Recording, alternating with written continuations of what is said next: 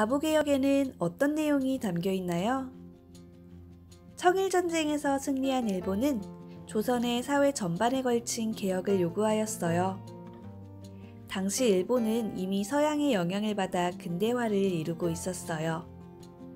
1894년 가보년, 조선 조정은 군국기무처라는 기구를 설치해서 근대 국가로 나아가기 위한 가부개혁을 실시했어요. 가부개혁의 구체적인 내용을 살펴볼까요? 가부개혁의 내용은 크게 정치, 경제, 사회 분야로 나눌 수 있어요. 정치 분야에서는 먼저 정부의 조직을 개편했어요.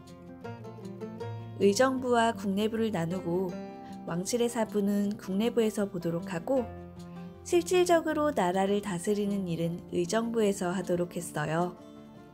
관리를 임명하는 인사권이나 나라의 예산을 관리하는 재정권, 군대를 다스릴 수 있는 군사권 등 원래는 왕이 가지고 있던 권한들을 왕에게서 강제로 빼앗거나 줄여나갔어요. 그래서 국왕의 권한이 점차 축소되었어요. 또 관리를 뽑던 시험인 과거 제도를 폐지했어요.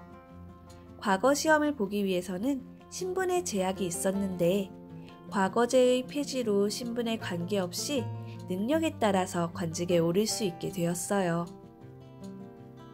경제 분야에서는 세금 제도를 개편했어요. 이전에는 세금을 그 지역의 특산물이나 쌀로 내었어요. 하지만 가보개혁을 통해 세금을 화폐로 낼 수 있게 되었어요. 또 물건의 양을 세거나 길이, 무게를 재는 단위인 도량형을 일본식으로 통일시켰어요.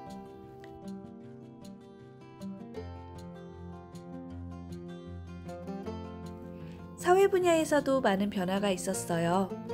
조선의 신문제는 지배층인 양반, 양반과 상민의 중간 단계인 중인, 피지배층이자 평민 혹은 양민이라고도 불리던 상민, 그리고 대부분 노비이던 천민의 네 단계였어요. 신분제가 폐지되면서 노비들은 해방되었고 모든 사람이 평등해졌어요.